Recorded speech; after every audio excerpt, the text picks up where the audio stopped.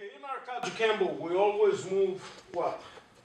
We always be taught to move a 45 degree movement to the side to intercept our opponent.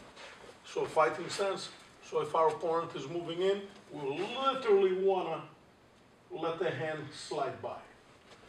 So if we're stepping in and we're doing the same thing, we're destroying the hand, we're hitting, we're grabbing, okay? So this is just basic. Another way to do it is, your opponent comes, you got just step back again forty-five degrees. Think of your forty-five degree movement.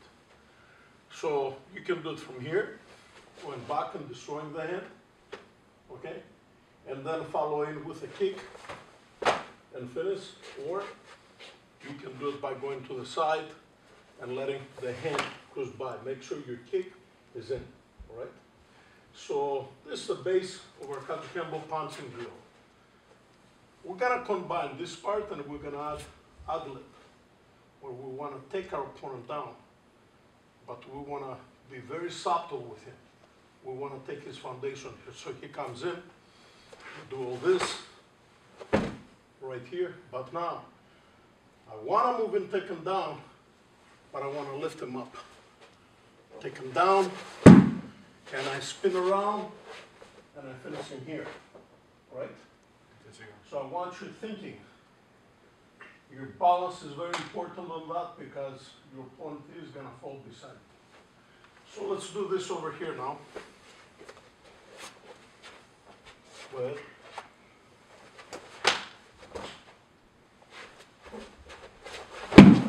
My body is right here.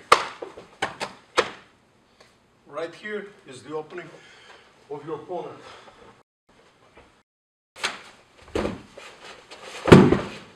My, my weight here, my hand is hammer fisting down as I drop my weight. Groin, go back. Thank you, sir. Give Bill a hand. So this is our pouncing drill number three. Go ahead.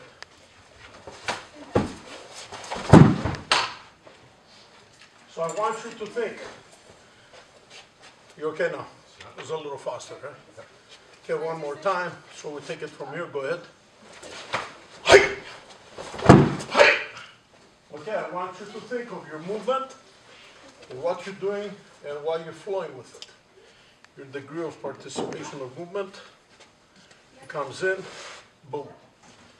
He comes in, bang. He comes in, bang. He comes in. Okay. This is your distraction, this is your pull down. Okay, if you decide to do basic, and down. This is your knee. Kick first, kick and then follow. Okay, with your knee, break rib cage. Thank you, sir. Now you guys do it.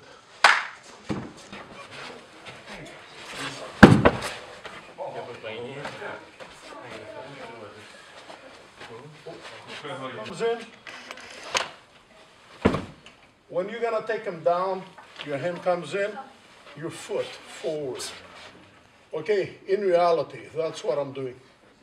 Okay, when I push down, you have a chance if you want. You can go with a foot, you can finish with a foot too. Okay?